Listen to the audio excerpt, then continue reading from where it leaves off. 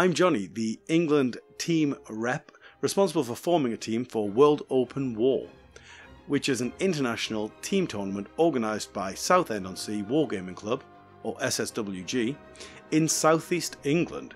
The tournament is unique in that not only are you playing as a member of a three person team, the rankings are done in groups.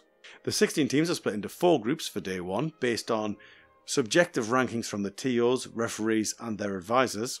But day two sees the groups reshuffled, the winner of each group going into group one, the second place in each group going into group two, etc. Then there's a trophy for the winner of each group. Having played in WoW last year, I really enjoyed the competitive element, bolt action played in the best of spirits by people from multiple different countries. It really was a very sporting atmosphere, played on some of the finest tables you'll ever play bolt action on, and I thoroughly enjoyed the entire weekend. It's also a great opportunity if you're a big fish in a small pond to test your ability against the best players in the world. If this seems right up your alley but you're not English, please drop a comment below or contact us directly and we'll get you in touch with your country's rep. Or if there isn't one yet, we'll get in touch with Russell, the TO, so you can start forming a team yourself. If you are English or you're looking at how to form a team, here is how the England team will be selected this year. We're holding a qualification tournament on the 25th and 26th of May. The qualifier is being kindly hosted by Russell and SSWG in the very venue WoW proper will be held.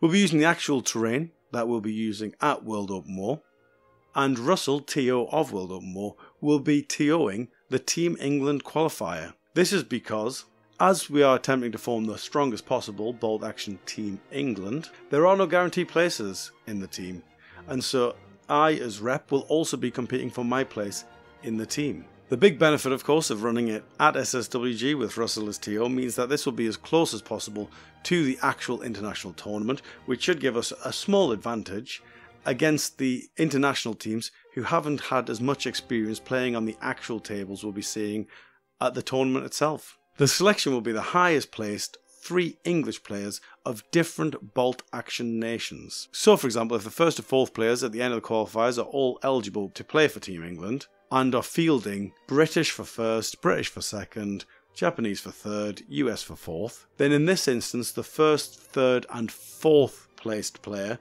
would be invited to form Team England, as the team must play with three different nations at World Open War. This selection method ensures that the team can be formed with players with a variety of unique strengths to produce the most competitive possible team to compete in the World Open War format. As such, players should be willing to use the same nation at WoW as they use at the qualifiers. In order to ensure we have a team who are serious about competing at an international level and can perform consistently, players who are invited to form Team England must also have three top 10 finishes at significant competitive tournaments in the last 12 months. The qualifiers are intended as an event to select the best possible England team for World Open War. However, the event is open to all and players of all abilities and nations are welcome to attend to test their mettle or embarrass the English locals.